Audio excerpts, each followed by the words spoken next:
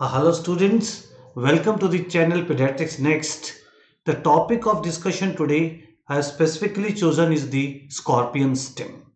Now particularly one or two lines regarding which is the most poisonous species found in the India. That is the Indian red scorpion.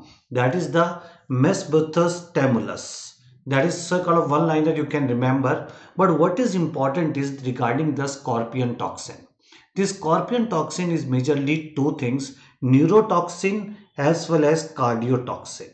Actually what happens in the scorpion venom is that it affects the voltage dependent ion channels. So there is some damage which is seen to the voltage dependent ion channels. So if you particularly go for the clinical features, the clinical features can be segregated into three. One can be the local manifestations one can be the systemic manifestation and one is the complication. The local manifestation where there is a bite. At that place there can be pain, severe pain and there can be paresthesia. So this is the local manifestation. And in the systemic manifestation actually here there is a autonomic storm.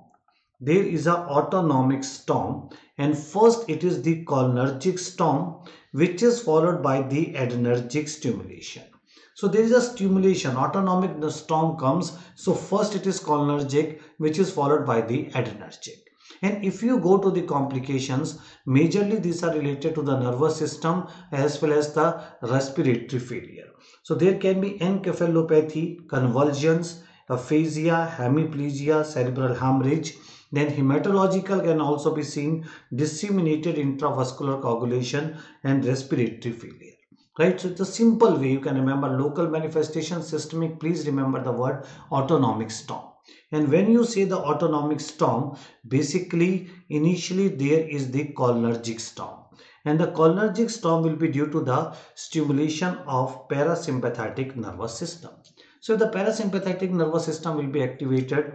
There will be bradycardia, there will be hypotension, there will be salivation, there will be urinary incontinence, diarrhea, there will be constricted pupil, miosis.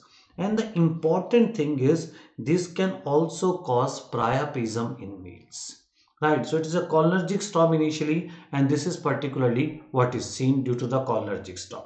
This cholinergic storm is followed by the adrenergic storm and in the adrenergic storm now this is due to the stimulation of the sympathetic nervous system which will lead to the increased levels of catecholamines sympathetic nervous system there will be increased level of catecholamines so again what will happen to heart rate now tachycardia hypertension diaphoresis hyperthermia even hyperglycemia right this can lead to urinary retention tachypnea. Now it is the dilation of pupil, mydriasis or tremors may be seen.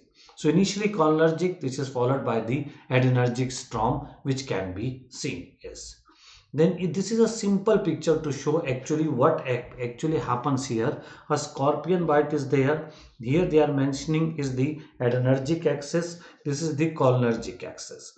So if you can particularly see like this adrenergic axis, cholinergic axis, all the features are related to this and the important thing here is they can have the cardiovascular effects so in the heart there is risk of arrhythmias and there is risk of myocardial depression so myocardial depression will be there left ventricle failure will be there this can lead to pulmonary edema right? Apart from the routine features you are worried about the involvement of the heart involvement of the lungs and even there is uncoordinated neuromuscular activity which can lead to particularly the multi-organ failure here. So this is the things remember. Heart arrhythmias lungs pulmonary edema and the cns encephalopathy are we having any management here? Yes we are having the two important things in the management. Two things are important. One is the prazosin another is the scorpion antivenom. This is two things which are important. And prazosin drug this is basically considered to be a poor man anti-scorpion venom. That is a poor man anti-scorpion venom. This is a postsynaptic alpha 1 adrenergic receptor antagonist. And this has got both pharmacologic pharmacological and physiological antidote right? This is basically an antidote to the scorpion venom.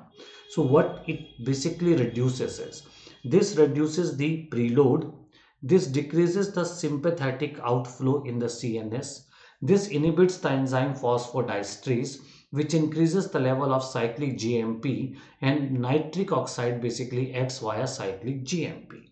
And this also increases the insulin secretion which is inhibited by venom.